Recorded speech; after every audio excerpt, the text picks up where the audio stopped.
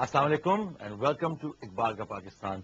uh, हम इस show के अंदर एक uh, इसरार खुदी डिस्कस कर रहे थे। We were discussing self respect in last show बहुत सारी ऐसी चीज़ें सामने आई। इंसानों को डिसिप्लिन और uh, इकबाल का जो कॉन्सेप्ट था इंसानों को बेहतर इंसान बनाने का वो सब कुछ डिस्कस हुआ। मेरा पहला सवाल इस शो के शुरू होने से हकीम साहब के साथ ये होगा जो कि obviously he does most of the research and we gonna find out कि जो जिस जमाने में सारे खुदी uh, लिखा गया या लिखा जा रहा था उस वक्त ग्लोबल और लोकल इंडियन लोकल क्या uh, पस मंजर में क्या चल रहा था?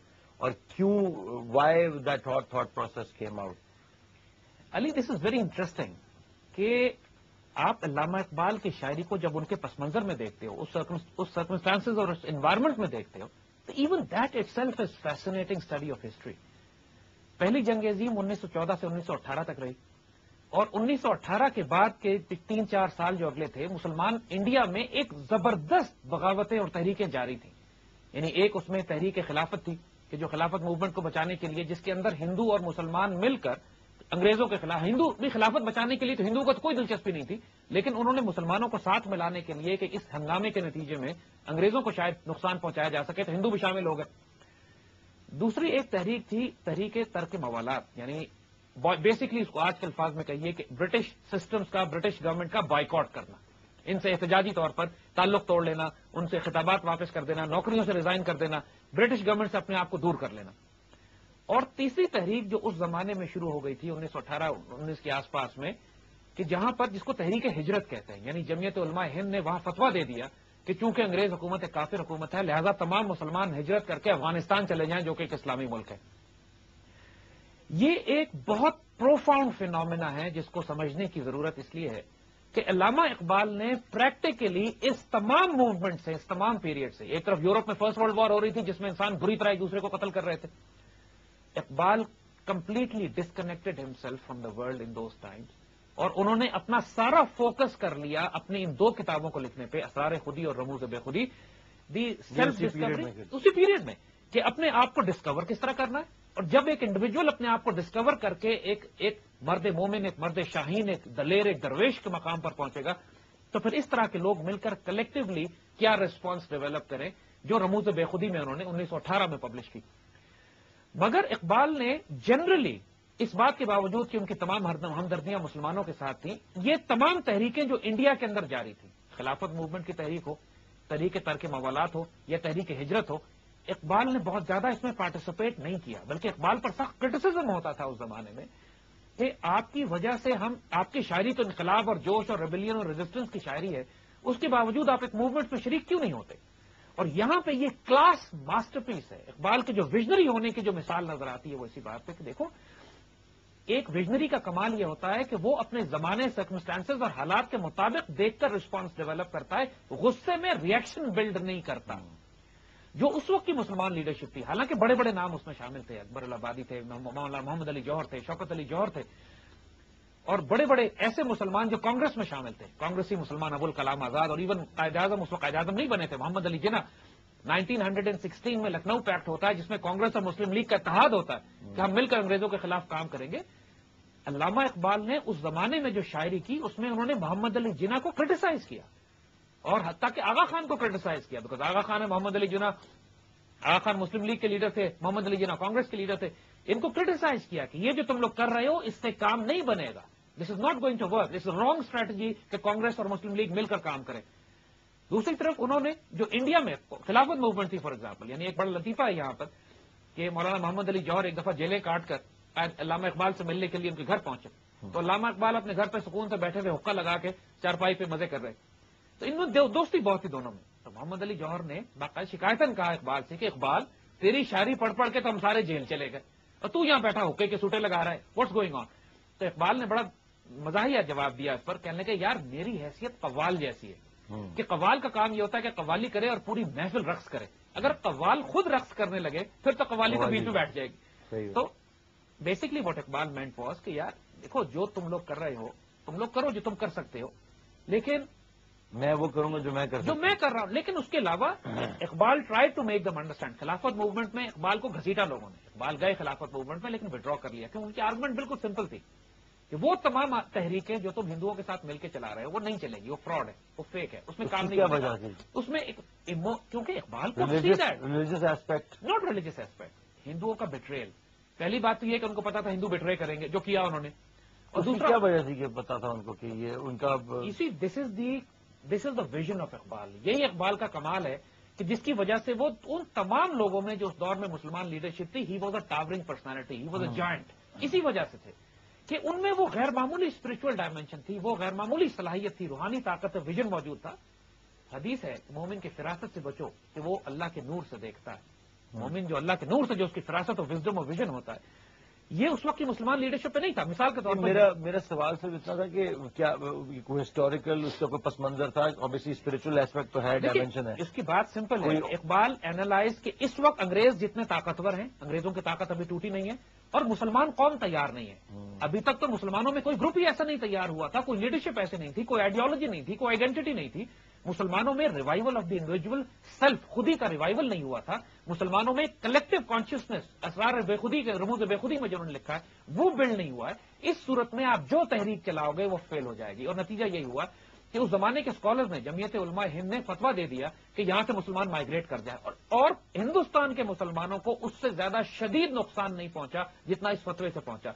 कि जितने पढ़े लिखे एजुकेटेड पाक मुसलमान थे उस जमाने में जो बिजनेसमैन थे काश्तकार थे तजारत करते थे और जो मुसलमानों की वो क्लास थी जिस पर एक सोसाइटी की बैकबोन बिल्ड होती है हम्म। उस सारी मुसलमान क्लास ने इस फतवे की बुनियाद पर अपनी जायदादें फरोख कर दी हिंदुओं के हाथों कौड़ियों के मोल और हिजरत कर गए अफ़गानिस्तान। अफ़गानिस्तान गरीब मुल्क वो खुद सस्टेन नहीं कर सका इन लोगों को। नतीजा ये हुआ कि अफ़गानिस्तान ने सरहदें बंद कर दी। सरहदें बंद करने के नतीजे में जो हज़ारों पढ़े लिखे मुसलमान, जो अशराफिया थी हमारी इलीट अच्छे लोग थे, वो हिंदुस्तान के और अफ़गानिस्तान के बॉर्डर पे फंस गए और हज़ारों की तादाद में भूखे मरने लगे। और जब लुटे पुटे तबाह हो गई मूवमेंट खराब हो गई और वापस पहुँचे अपने इलाकों में तो जहाँ पर ये हुकूमत करते थे, जहाँ इनकी जमीनें थी, जहाँ जायदादें थी इनकी, और जिनको ये हिंदुओं को फरोख कर गए थे, वहाँ पर आके ये हिंदुओं के गुलाम बन गए। यानी बेसिकली उस फतवे से ये हुआ कि मुसलमानों को फ़ायदा कुछ नहीं हुआ। इकोनॉमिकली इकोनॉमिकली तबाह बर्बाद हो गए। मुसलमानों की जो मिडिल क्लास थी वो डिस्ट्रॉय हो गई। क्या फ़ायदा हुआ ऐसा फतवा देने का कि जिसकी बुनियाद ही फिरासत पे नहीं थी जिसकी बुनियाद विजडम पे नहीं थी जिसकी बुनियाद एक पॉलिटिकल अंडरस्टैंडिंग इकोनॉमिक अंडरस्टैंडिंग पे नहीं थी? मुसलमान लीडरशिप का उस जमाने में ये हाल था। वो रिएक्शनरी वो रिएक्शनरी उस समय आज भी हमारी लीडरशिप का यही हाल है। अगर आप देखिए तो इस वक्त दुनिया में प्रॉब्लम्स है मुसलमानों को। बड़ी मुश्किलात हो रही हैं। और जो मुसलमान पॉलिटिकल ग्रुप्स हैं या रिलीजियस ग्रुप्स हैं वो सब रिएक्शन में रिएक्ट कर रहे हैं जिसकी वजह से खुद मुसलमानों को नुकसान पहुँच रहा है। अब चाहे वो ग्रुप्स हो जो मिलिटेंट्स कहते हैं अपने आप को किसी को तो दुश्मनों ने प्लांट किया और बहुत से ऐसे अहमक हैं हमारी सफों में जो पाकिस्तान में खुद को हमले कर रहे हैं पाकिस्तान में बॉम्बिंग कर रहे हैं। ये वो रिएक्शनरीज हैं कि जो दलील से बात करके तबलीग से अपने रूहानी वजूद से लोगों को मुतासर नहीं कर सकते। लिहाजा हर बात का जवाब इनका यह कि एक बॉम्ब प्लांट करके उस ग्रुप को ही तबाह कर दो जो हमसे इख्तलाफ कर रहा है। इन जाहिलों ने अपने ही लोगों को तबाह किया। ऐसी सियासी जमातें और मजहबी जमातें जो हर बात के जवाब में अपने ही मुल्क को आग लगा देती हैं अपने ही मुल्क में जलसा जुलूस करके तबाह बर्बाद करती हैं। बदतमीजी की या, या तंग नाराज़ है इंग्लैंड पे या अमेरिका पे या यहूदियों पे। और जलाब भी जलाते जले। अपने मुल्क को है अपनी बसें जलाते हैं अपनी सड़कों को आग लगाते हैं अपने घरों को आग लगाते हैं। ये जो जाहिल मुसलमान लीडरशिप आज भी आपके आसपास बस रही है। ये उस वक्त भी थी और उन सारों के दरमियान में। बट डोंट यू थिंक कि ये ज़्यादातर ज़्यादातर कंट्रोल्ड है ये फिनोमेना ऑल दीज ग्रुप्स जो जो बाहर निकल आते हैं और इसी तरह बदमनी फैलाते हैं ये वो बहुत से ग्रुप स्पॉन्सर्ड होते हैं लेकिन बहुत से इसमें भी कोई शुभा नहीं है कि genuine Muslim political religious groups जो आजकल आप देख रहे हैं जो सियासत में है या कोई group are those you see इनमें से बहुत से लोग ऐसे हैं कि जिनकी नीयत बुरी नहीं है जिस तरह खिलाफत मूवमेंट में बहुत सारे मुसलमान थे जिनकी नीयत बुरी नहीं थी। वो निकलते थे अपना मोहम्मद अली जौहर शौकत अली जौहर पर तो कोई इतराज नहीं कर सकता। वो द फाइनेस्ट लीडरशिप बड़े सिंसियर लोग थे। लेकिन वो जिस स्ट्रेटजी पे चल रहे थे जिस टैक्टिक्स पे काम कर रहे थे उसने नाकाम होना ही होना था। और इसी पर इकबाल ने एतराज़ भी किया इनके ऊपर। और इसी वजह से इकबाल के खिलाफ बड़े लोगों ने जमाने में शदीद तूफ़ान बिल्ड हुआ कि मुसलमान सारे एक तरफ़ जा रहे हैं इकबाल अलग खड़े हुए और इकबाल जैसे लोगों का होता ही यही है कि वो एक चट्टान की तरह रोशनी का मीनार बनकर खड़े हो जाते हैं। दुनिया जो मर्ज़ी उनके खिलाफ बात करती रहे वो वो बात करते हैं जो मुसलमानों के मफाद और फ़ायदे में होती है। और ये वो पीरियड था इकबाल का कि जिसमें वो अपने थॉट प्रोसेस भी बिल्ड कर रहे थे। और मुसलमानों को यह भी समझाने की कोशिश कर रहे थे कि जब तक कि तुम्हारे पास रिसोर्सेज बिल्ड नहीं होते तुम जो तरीके चला रहे हो ये काम नहीं आएँगे। Come back, we're going to continue.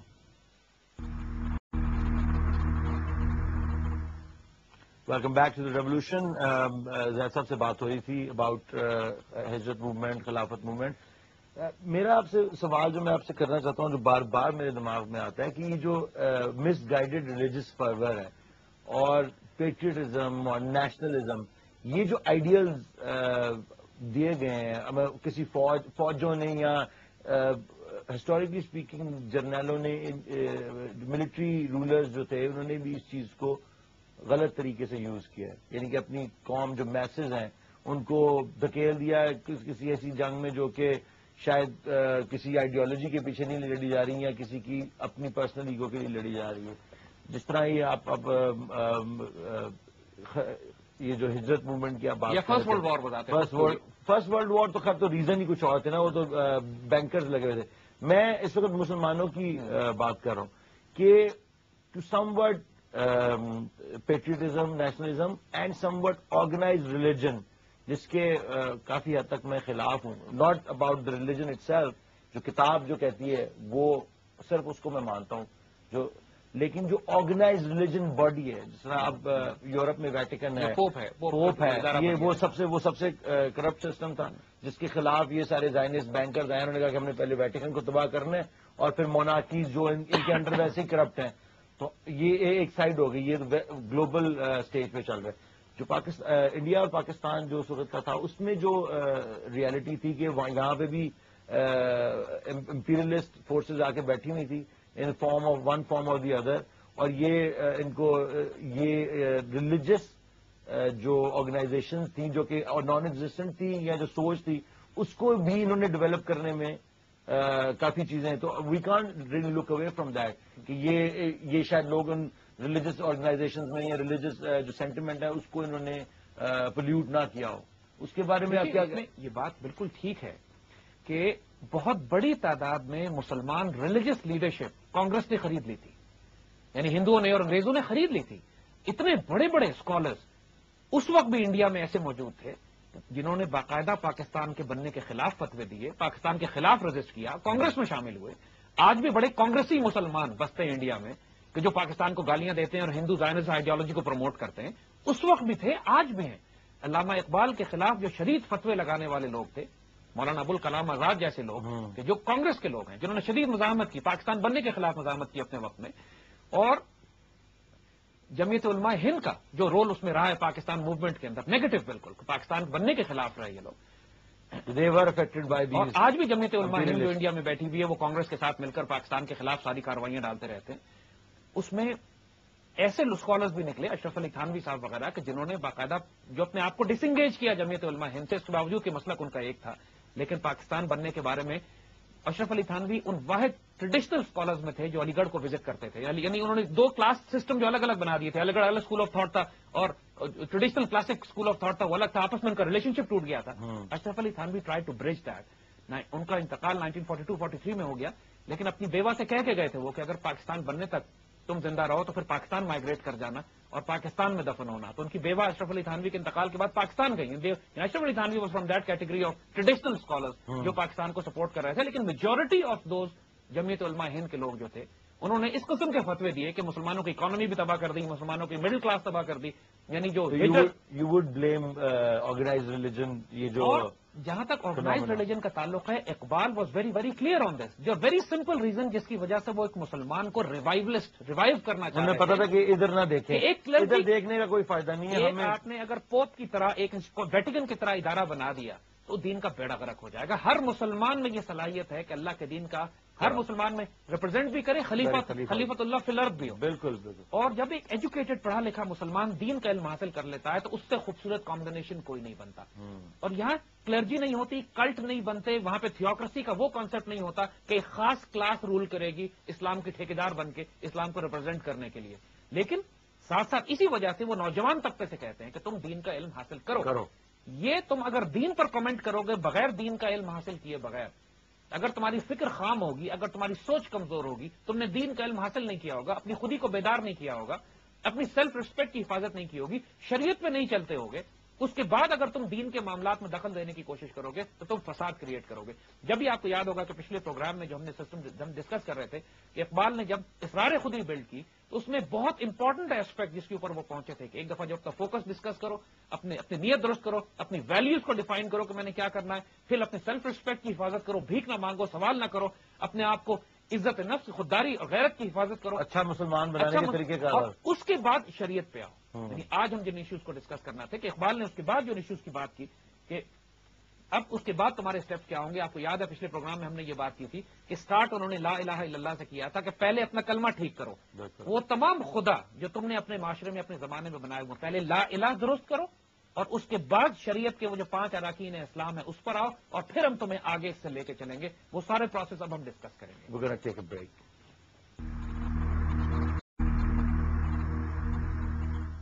Welcome back to Iqbal का Pakistan.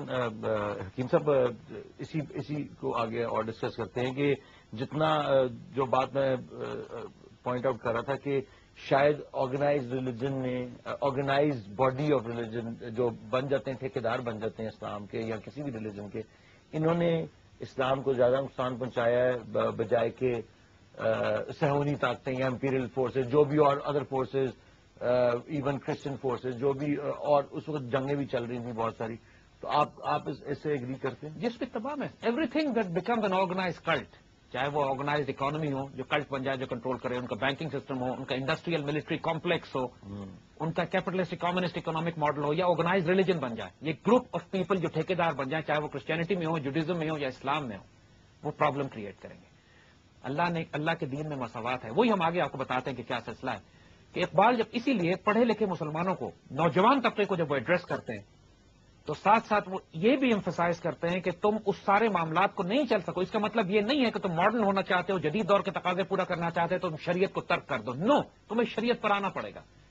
You have to be educated on your Deen you have to understand कि दीन के लॉज क्या हैं, उसकी प्रैक्टिस क्या हैं, उसकी इबादत क्या है। बिकॉज़ उनकी एक विजडम है जो तुम्हारी सेल्फ कॉन्शियस को, तुम्हारे वजूद को, तुम्हारे खुदी को, तुम्हारी, तुम्हारे अंदर गैरत की हिफाजत करने के लिए बनाए गए हैं ये सिस्टम तो इसीलिए जब वो पहले बात करते हैं कि जब ला इलाह की बात करते हो और अपने अंदर सारे खुदा तोड़ो, सारे बुत को तोड़ो जो तुम्हारे जमाने में बने हुए हैं, कहीं किसी जैसे हमने अर्ज़ किया, किसी का बुत रुपया है, किसी का पैसा है, किसी का खानदान है, किसी का ओहदा है, किसी ने रैंक्स गाड़ियाँ जायदादें, जमीनें, घोड़े, कारें, ये बुत बनाए हुए लोगों ने। जब तुम ला इलाह कह के सारे बुतों को निगेट करते हो और इस बात को मानते हो कि अल्लाह महबूब, मकसूद, मतलूब, खुदा मेरे लिए कानून बनाने वाला जिसको मैं फॉलो करूँगा, जिससे मैं प्यार करूँगा, वो सिर्फ़ अल्लाह की जात है। तो उसकी बात तुम्हारे लिए लाजिम है कि अगले स्टेप पे आओ जो नमाज़ है।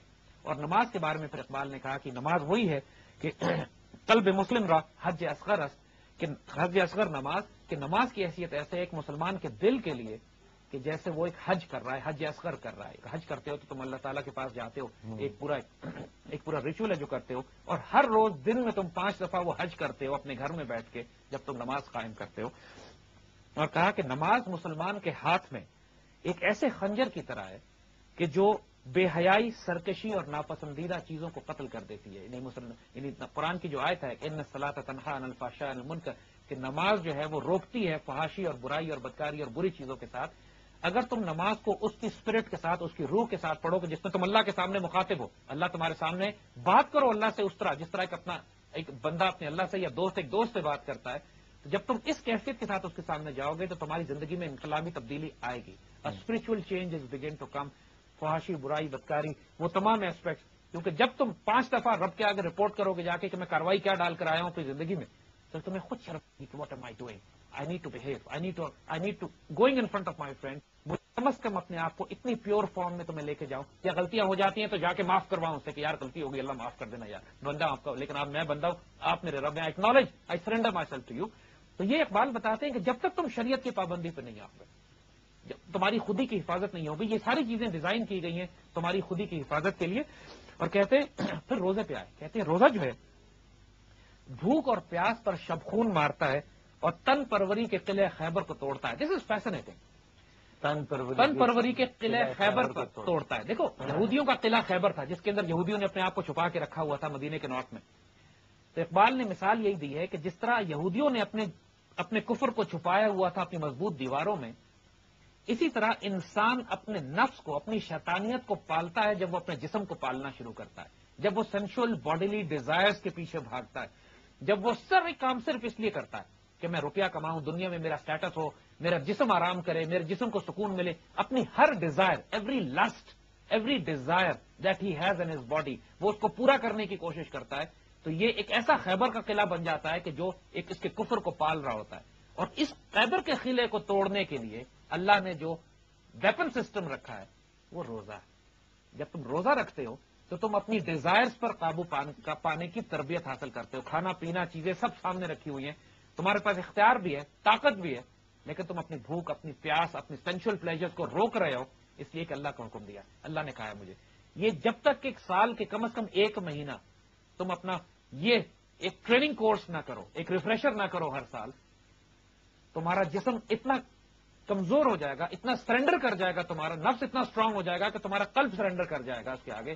फिर तुम अपनी ख्वाहिशात, नफ्स और अपनी डिज़ायर से चलोगे, तुम्हारे ऊपर will be no self control over your self और इस सेल्फ कंट्रोल को कायम रखने के लिए तुमने नमाज़ के साथ साथ रोज़े को लाजमन फॉलो करना है क्योंकि अगर तुमने रोज़े को अबैंडन कर दिया तो तुम्हारा जिसम इतना मज़बूत हो जाएगा। जिसम से मतलब तुम्हारा नफ्स इतना मज़बूत हो जाएगा।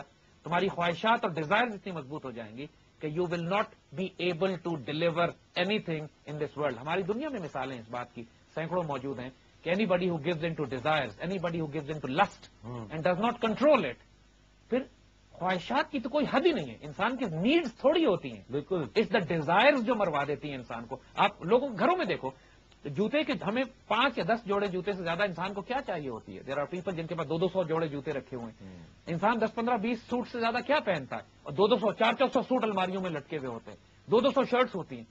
यानी ये सारी नीड्स नहीं है ये डिज़ायर है। वांट्स हैं। वांट्स हैं। और उसकी कोई हद नहीं है। इंसान उसको जितना फैलाता चला जाए अगर उसको सख्ती से कंट्रोल नहीं करेगा तो ये वॉन्ट्स इंसान को इनाहलेट कर जाएँगे टेक ओवर कर लेंगे। और for anybody who want to bring the change in this world पहला काम उसका यह कि अपनी डिजायर्स पर काबू रखें। Very nice take a break welcome back to Iqbal का Pakistan we have a caller on line very desperate to talk to Hakim Sahab hello असलाकुम this is Ruby Uh, जी रूबी कैसी हैं आप? खैरियत से? Thank you so much, Ali. मेरी बहुत congratulation that uh, आपकी इतनी uh, अपॉर्चुनिटी है to be with ustad at one to one level. माशाल्लाह जी बिल्कुल आप बहुत कह रही लकी हैं। और वन थिंग इज़ के मुझे स्केयर हिट्स में कि कहीं हकीम साहब रस्ते में हमें छोड़ के ना चले जाएँ।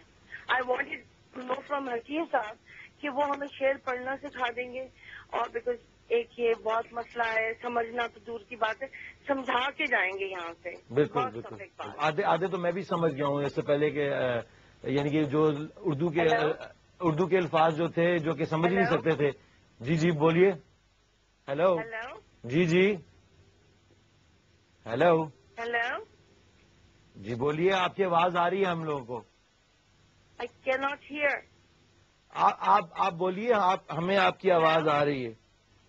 आप आपसे कॉल बैक करते हैं दोबारा बात करते हैं। ऑब्वियसली बहुत सारे लोग जो हैं वो जो मेरा भी प्रॉब्लम यही था बल्कि मेरा क्या तकरीबन निन्यानवे फ़ीसद पाकिस्तान का ये प्रॉब्लम है कि इस पोइट्री को समझना और इसकी जो राज हैं इसके पीछे पोशीदा उनको समझना। अली पॉइंट इज़ हम आपको कुछ सिखा नहीं रहे हैं।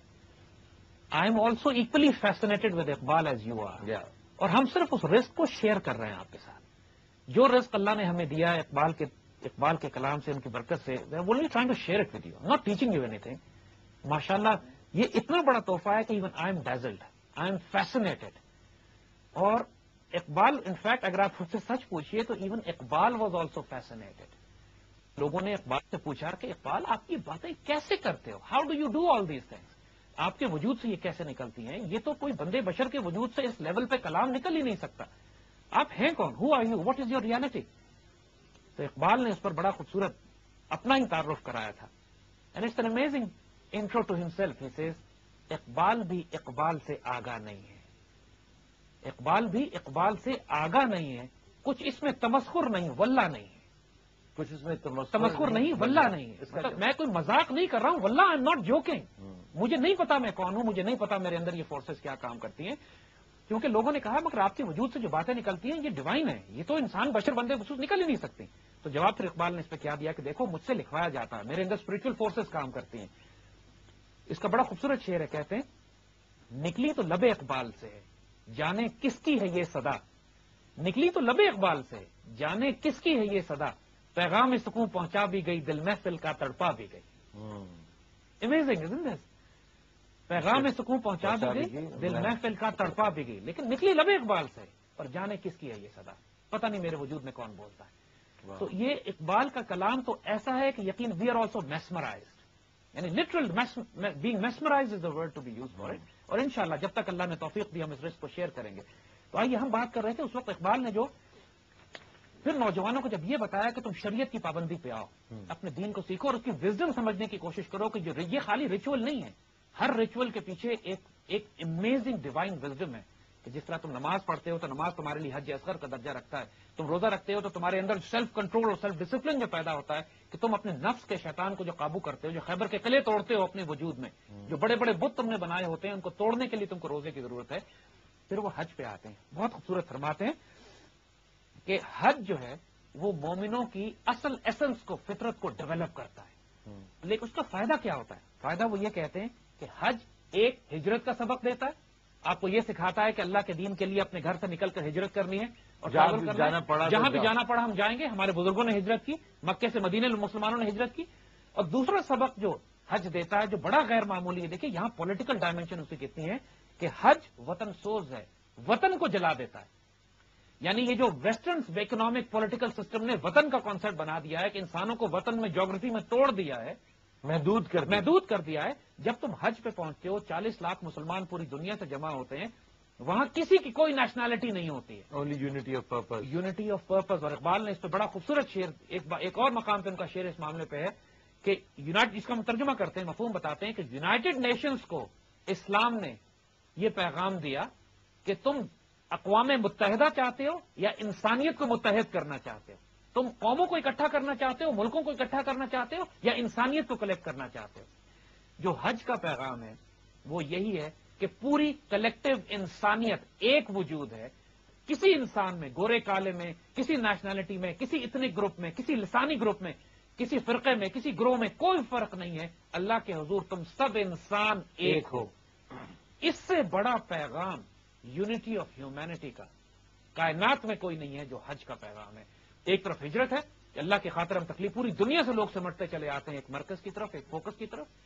और उसके बाद वतन सोच कि वो वतन का कॉन्सेप्ट नेशनलिज्म का जो वेस्टर्न कॉन्सेप्ट है जो मगरब ने दिया है वो कॉन्सेप्ट इंसानों को तकसीम करता है एक मुल्क में एक नाम में एक झंडे में। जब तक you would denounce nationalism and patriotism.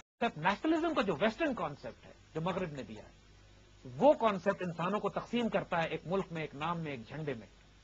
जब तक you you would denounce nationalism and the western concept Iqbal ने इसको डिफाइन किया है कि मॉडर्न सियासत की जबान सियासत की जबान में वतन और है दीन की जबान में वतन और है। ये तो वही आपकी आँखों के आगे पर्दा डाल दिया गया। तो मदीने की जो रियासत थी वो भी तो एक वतन था एक मुल्क था। लेकिन वो वतन एक आइडियोलॉजी के नीचे था वो वतन एक आइडियोलॉजी को रिप्रेजेंट करता था। इसी तरीके से जब पाकिस्तान है आज का पाकिस्तान सिर्फ़ एक ज्योग्राफी नहीं है पाकिस्तान एक उम्मत मुस्लिमा, एक आइडियोलॉजी को रिप्रेजेंट करने वाली ज्योग्राफी है। यहाँ पर पाकिस्तान से प्यार करना एन दीन का हिस्सा है। इस part of our faith to love this land जिस तरह to protect to protect Medina and to love Medina is part of our faith आज के दौर में जो मदीना है, आज के दौर में जो बेस है, कि जहाँ पे मुसलमानों को रीग्रुप करके रीऑर्गेनाइज करके और मुसलमानों ने दुनिया में जो अपना मकाम और स्टेटस दोबारा हासिल करना है, वो रीग्रुपिंग बेस पाकिस्तान है।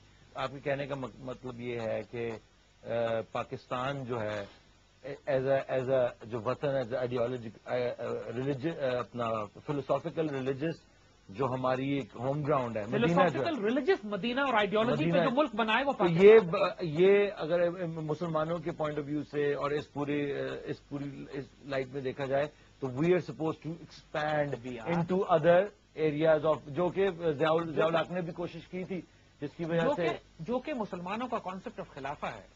Which is going to expand Medina एक छोटी सी रियासत थी जो एक्सपैंड करे। पहले उसकी आइडियोलॉजी ने एक्सपैंड किया उसके बाद उसकी ज्योग्राफी ने एक्सपैंड लेकिन अभी तो ये डर है ना कि ये कुछ अपने भी अपनी जगह से सुकड़ अल्लाह के। फजल से कोई सुकड़ने वाला पाकिस्तान नहीं बना। जो सुकड़ना था वो हम सुकड़ गए। अब फैलने का वक्त है।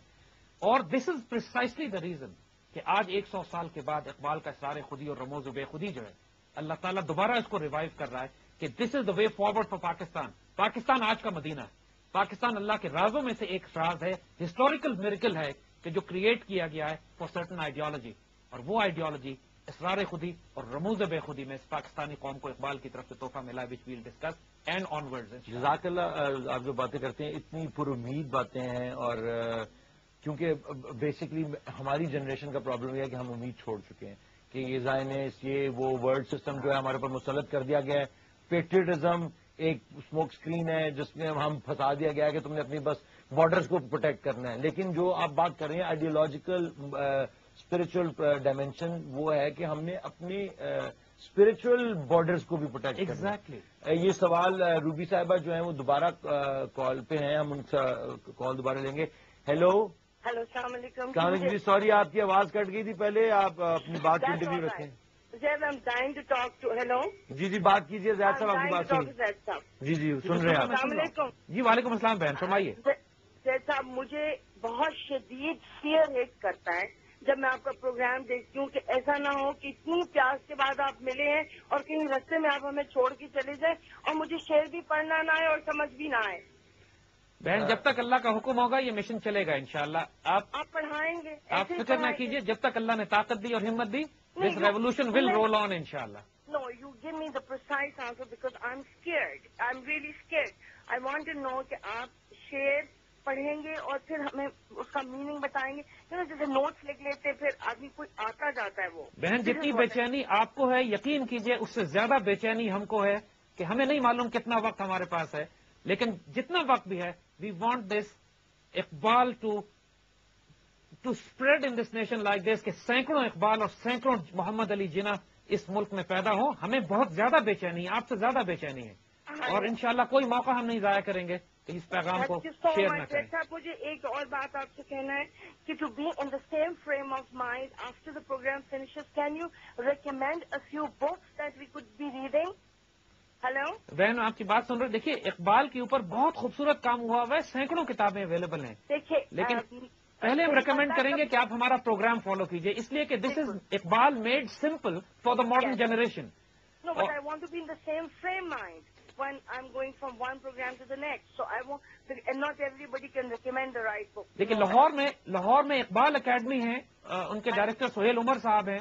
They have done fascinating work on Iqbal आप लाहौर की इकबाल एकेडमी से रब्ता कीजिए उनके पास सीडीज डीवीडीज बुक्स एक अमेजिंग कलेक्शन है। आप मुझे एक कुछ किताबों के नाम भिजवा देना दैट विल बी टीवी पे भिजवा दें। जी अब अगले अगले प्रोग्राम में इंशाल्लाह आपको ये सारा भी बताएँगे। अ, मैं ये बताना चाहता हूँ कि इकबाल अकेडमी की बात आपने की। जब से हमने ये शो स्टार्ट किया मुझे पिछले हफ़्ते एक पूरा कार्टन रिसीव किया। उन्होंने हमें भी जी आपको भी किताबें आई हैं। इकबाल और मैं इस प्रोग्राम की तवसत से इकबाल अकेडमी का शुक्रिया अदा करना चाहता हूँ।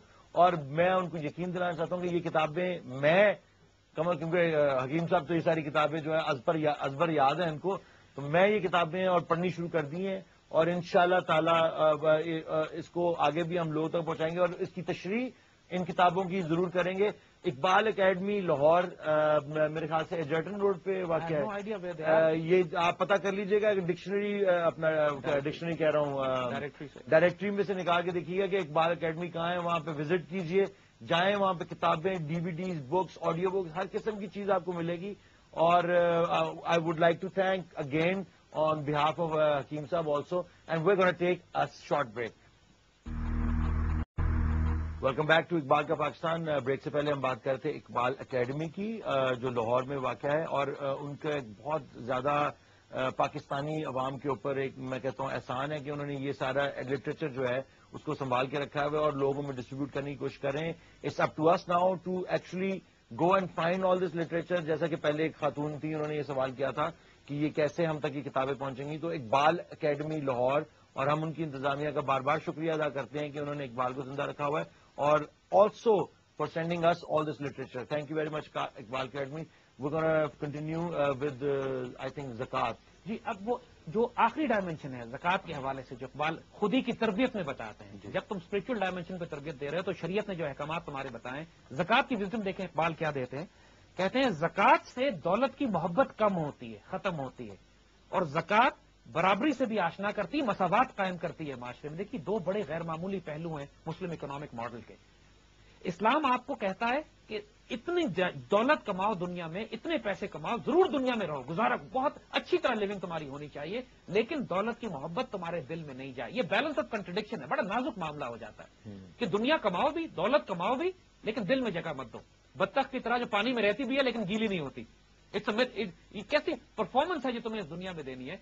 क्योंकि जक़ात देने का मतलब यह है कि तुम्हारे पास सेविंग्स हैं दौलत तुमने रखी हुई है जब भी तो तुम जक़ात देते हो ना। लोगों की हेल्प कर रहे हो आगे। और क्योंकि जक़ात देने से तुम इस काबिल होते हो कि लोगों की मदद कर सको वो लोग जो इस काबिल नहीं है। तो मुसलमान इकोनॉमिकली भी स्टेबल होना ज़रूरी है। जक़ात देना हमारे दीन का हिस्सा है। मुसलमान देने वाला होता है लेने वाला नहीं होता। मुसलमान को भीख मंगा नहीं होना चाहिए। फकीर और फटे हुए इतना मिस्कीन और आजिज नहीं होना चाहिए कि ना अपनी मदद कर सके ना दूसरों को खिला सके। एक अच्छा मुसलमान, जब ईमान में स्ट्रेंथ होती है फ़िज़िकल स्ट्रेंथ होती है तो उसमें इकोनॉमिक और मिलिट्री स्ट्रेंथ भी होनी चाहिए। ये इकबाल इसी वजह से डिफरेंट थे, दूसरे तमाम सूफिया से, या दूसरे तमाम उन मिस्टिक्स के साथ और फिलोसफर्स के साथ, कि जो तर्क दुनिया की तालीम देते थे, कि दुनिया छोड़कर अलग हो जाओ। इकबाल वॉज़ डिफरेंट इसे नो दुनिया में जाओ, दुनिया कमाओ, दुनिया, और जितनी कमाओ, तकसीम करो, अल्लाह की राह में दो, लेकिन दिल में जगह नहीं देनी। और दूसरा जो जक़ात से होता है, माशरे में मसावत कायम होती है, जो अमीर और फ़र्क है वो कम होता है। अमीर अपनी दौलत गरीबों में तकसीम करते हैं ताकि जो मिडिल क्लास है वो ज़्यादा हो। अपर क्लास थोड़ी हो लोअर क्लास थोड़ी हो और एक वक्त तो ऐसा है कि पूरा पूरी दुनिया पूरा सोसाइटी पूरा माशरा एक ही क्लास हो। हम्म। हर कोई जक़ात देने वाला हो। जक़ात लेने वाले कोई ना हो। जक़ात मांगने वाले कोई ना हो। ये कैसे हो सकता है कि मैं बीएमडब्ल्यू में बैठा हुआ हूँ पचास लाख साठ लाख के और मेरे मोहल्ले में ही दस लोग ऐसे हैं जो खाने के लिए मर रहे हैं? इतना जब डिफरेंस हो जाए किसी माशरे में तो वहाँ इनकलाब बर्पा होते हैं वहाँ फसाद होते हैं वहाँ क्राइम आता है वहाँ जुल्म होता है। और यही हमारे माशरे का अलमिया है कि जो टॉप फाइव परसेंट है they are they are the one are controlling the ninety percent wealth of this nation ये जब अनफॉर्चुनेट अलमिया पूरी दुनिया में शुरू हो जाए मुल्क में शुरू हो जाए तो फिर उस माशरे, उस उस मुल्कों में फसाद फैलते हैं। उस सारे इकोनॉमिक मॉडल को, माशरे के इकोनॉमिक इम्बैलेंस को दुरुस्त करने के लिए जक़ात है। अगर आप नोट करें, पाकिस्तान में सारे लोग अपनी जक़ात निकालना शुरू कर दें तो पाकिस्तान में एक गरीब आदमी भी बाकी ना बचे। हमारा बहुत बड़ा अलमिया है कि इस्लामिक इकोनॉमिक मॉडल जो जक़ात है, सदकात है, खैरात है, विरासत को तकसीम करना है, जो उशर है, जो गल्ला गल्ले पे सिर्फ़ टैक्स अल्लाह ताला ने रखा हुआ है। अगर सारे पाकिस्तानी काश्तकार और पाकिस्तानी इंडस्ट्रियलिस्ट और बिज़नेस और पैसे वाले लोग जक़ात देना शुरू कर दें एक गरीब आदमी ना रहे मुल्क में टैक्स ना लगाना पड़े हमें कोई कर्ज ना लेना पड़े तो हम इतने खुददार और गैरतमंद हों कि पूरी दुनिया को हम तकसीम करें। सच्चाई तो यही है वैसे जो आप कह रहे हैं। बिल्कुल सही कि हमें किसी बैंक किसी आईएमएफ किसी से कुछ ना करना पड़े। किसी के सामने ना कि अमेरिका तू दे दे हम जो तबाह बर्बाद हुए हैं वो इसी वजह से कि इकबाल ने जो डिफाइन किया है कि तुम नमाज़ रोजा हज जक़ात को रिचुअल समझते हो। ये रिचुअल नहीं है। ये हमारे Islamic political economic military model की फाउंडेशन है। और इसीलिए जब इंसान अपनी सेल्फ डेवलपमेंट और अवेयरनेस की बात करता है तो इन फाउंडेशन पर वो अपनी खुदी को बिल्ड करता है कि जिससे मुसलमान मिल्लत अपना उरूज हासिल करती है। You can not ignore these fundamental pillars very nice जो आपने बात की कि मेरे साथ भी ये ऐसा वाक्य हुआ कि जब एक मैंने महँगी गाड़ी खरीदी थी बहुत शौक था बचपन से। मेरे वाले साहब भी मुझे बताते थे कि, मैं जब छोटा सा होता था तो वो छोटी दिन की कार लेके ना, गाड़ी घर में घुमाता रहता था और एक इमेजिनरी गाड़ियाँ चलाता रहता था। तो सारे हँसते थे मेरे पर मोहल्ले वाले। तो जब मैं बड़ा हुआ तो मेरे ऊपर एक, मेरा भी और मेरे कुछ कज़न भी हैं जिनको गाड़ियों का जुनून है। तो मैंने जब एक बहुत महँगी गाड़ी खरीद ली और पहले अपने पैसों से, हलाल के पैसे थे उनसे खरीद के जब मैं निकला तो मुझे एक अजीब सी शर्म आती थी क्योंकि जहाँ मैं रहता हूँ, जिन शहरों में मैं रहता हूँ, जिस सड़क पे मैं जाकर रुकता था, वहाँ पे फकीर, कोई जो लोग थे, जो, या गरीब लोग थे जो आपकी, आपको हंसन भरी निगाहों से देते। तो मुझे बजाय कि वो एक फील होने के कि मैं आया हूँ और मुझे देखो मुझे शर्मिंदगी होती थी कि मैं इनसे छुपूं कैसे? और वो मेरे लिए एक यकीन कीजिए कि मेरे लिए अजाब बन गया था कि मैं वहाँ जाने से मैं किसी को यार तू अब आ जाए यार मैं तेरी गाड़ी में चल रहा हूँ मुझे अपनी गाड़ी ये नहीं कि मैं डरता हूँ किसी से या कुछ लेकिन मुझे एक अजीब सी शर्म आती थी। I couldn't put my finger on it which is real phenomena और अगर अगर इंसान के अंदर खौफ खुदा है या अपनी लोगों के लिए मोहब्बत है या खुदा की सब क्रीचर्स के लिए मोहब्बत है, हर दरख्त, परिंदे, चूंटियाँ या इंसान, सबसे पहले तो इंसानों को आपको कर लेना हकूकुल इबाद का ख्याल रखना है तो अगर आपके अंदर ये चीज़ है तो जरा आप फिर बहुत ज़्यादा फील करते हैं थैंक यू वेरी मच आज का शो जो है, उसने it's eye opener again obviously I hope for other people also and like we always say the revolution will be televised. Thank you very much. We'll see you next time.